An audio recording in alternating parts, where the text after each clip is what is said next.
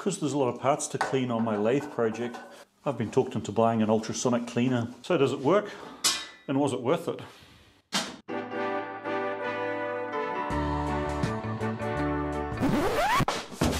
I got post.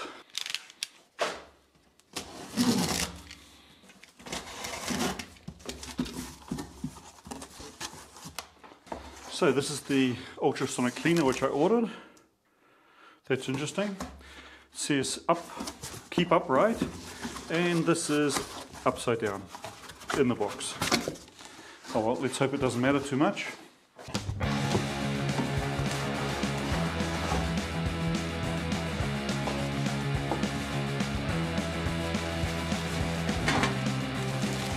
So this is your standard 10 litre ultrasonic parts washer or deep fryer. Make some more fish and chips. Power cord, instructions.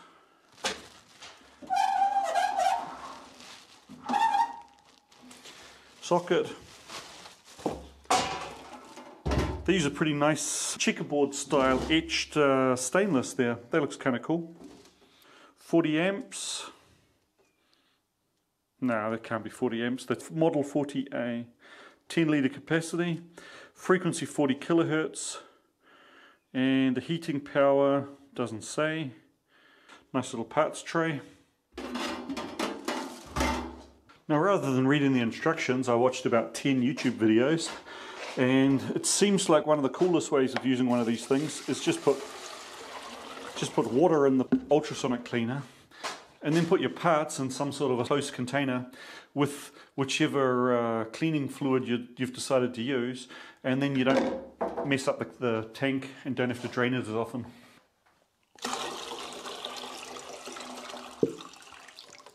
Now before I plug it in, let's take a quick look at the safety instructions. Don't keep heating without water nor supervised.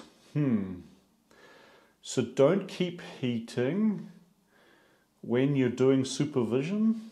Hmm, got some issues with the Chinglish there. Please power off the controls and wait for normal temperature or water before drainage. You have to wait for either normal temperature or wait for water before drainage. Yeah. Okay, let's flick this on. Power comes on, that's a good thing.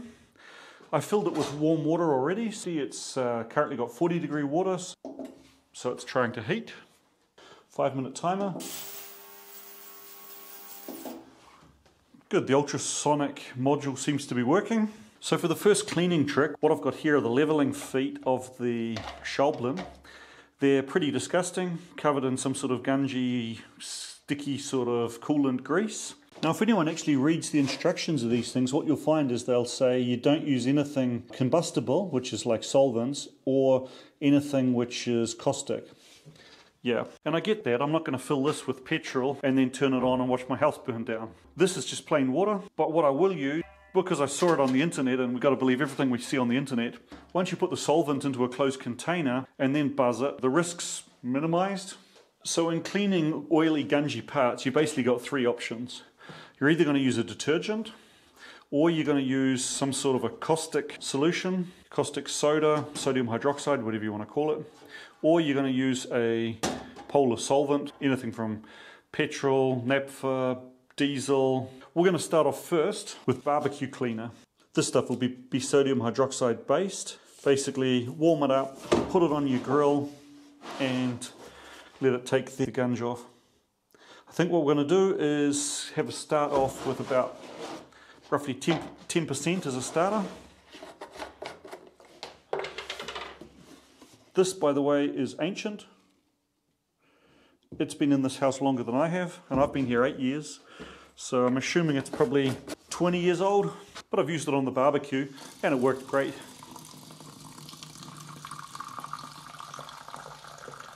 Let's float this in and turn it on.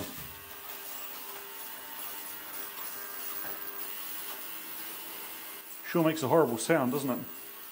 One thing we are seeing is that that container is lid's not sealed. That's not good.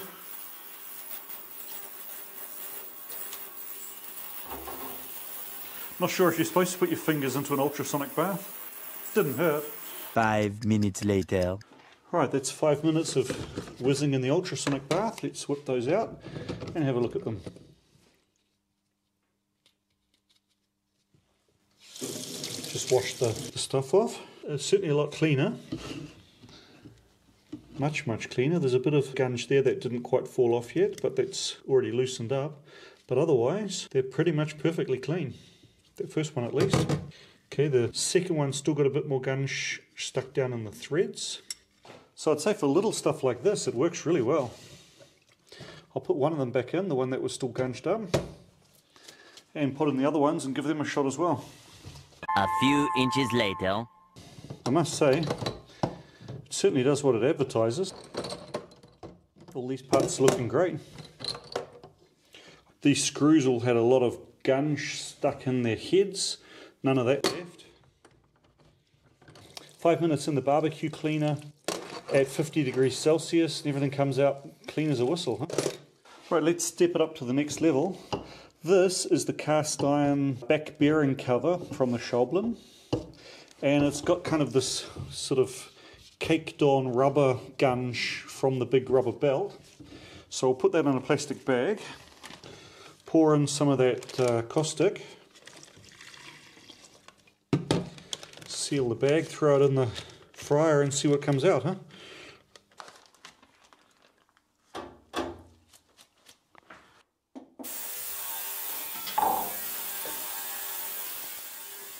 Five minutes later. Well, that's cooked. Let's see what it come out like. Look at that. It came out clean as a whistle.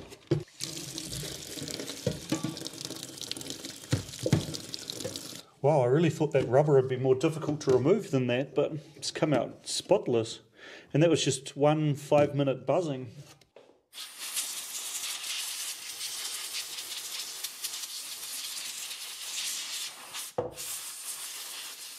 I mean, look at that. That is perfect. You know, now my only regret is I didn't buy a bigger ultrasonic cleaner so I could throw the whole barbecue in. That would have been perfect. The next thing I'm curious about is rust removal. This uh, Schaublin Axis drive pulley is quite rusty. So let's throw that in. And we're going to use just standard household vinegar. Cheapest, nastiest stuff I could find. Costs like 60 cents a litre. So there we go. Bag of bike pedal and rusty pulley. Five minutes later. So five minutes are up. This is the rusty job. Well, there's definitely rust in the water, so that's a good sign. Uh-oh. I just remembered you're not supposed to use caustic with aluminium or zinc. I guess that's a zinc-based alloy in the middle and an aluminium around the outside. Oh well. Yeah, I should have just used detergent on that one. Now looking at the rust removal. Well, it started, but it's not finished. So let's throw that back in. Now after a second soak it seems to be coming along quite nicely.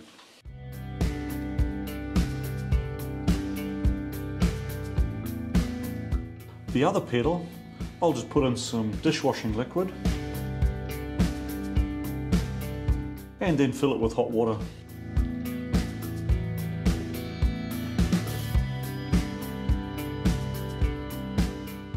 Five minutes later. Right, let's check out that pedal I just threw in normal detergent. Wow, look at that, huh? I mean, there's a bit of gunge still right up inside there, but the rest of the pedals come out pretty darn clean. That's pretty impressive. Just household detergent in the ultrasonic cleaner. Cool. Use the right fluid for the job. This chain's a real greasy mess. Let's put that in the soup.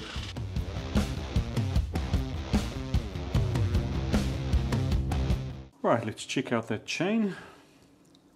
This is the same mix of barbecue cleaner and water I used yesterday, so it was already dirty before I started. Uh, it's not clean yet. I wonder if that cleaner's now worn out. Well, the cheap ultrasonic cleaner does a really good job of cleaning moderately dirty, oily stuff, so let's give it a, a real challenge. This is a very coked up piston from a Russian M14P radial aircraft engine. You can see there's scungy as. Now, unfortunately, being aluminium, I can't just put it in the barbecue cleaner, which, you know, the caustic works most effectively, but that's not going to happen. I don't really have anything else uh, that's very aggressive to use, so let's see what happens with very grubby piston, just some dishwashing liquid, warm water.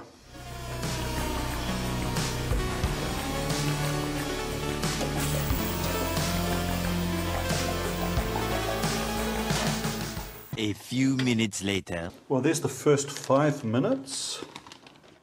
Water in the bag starting to look a bit gungy, that's good. There's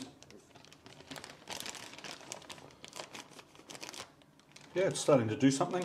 Just leave it in, another, give it another five minutes. A little longer than a few minutes later. Now 10 minutes in.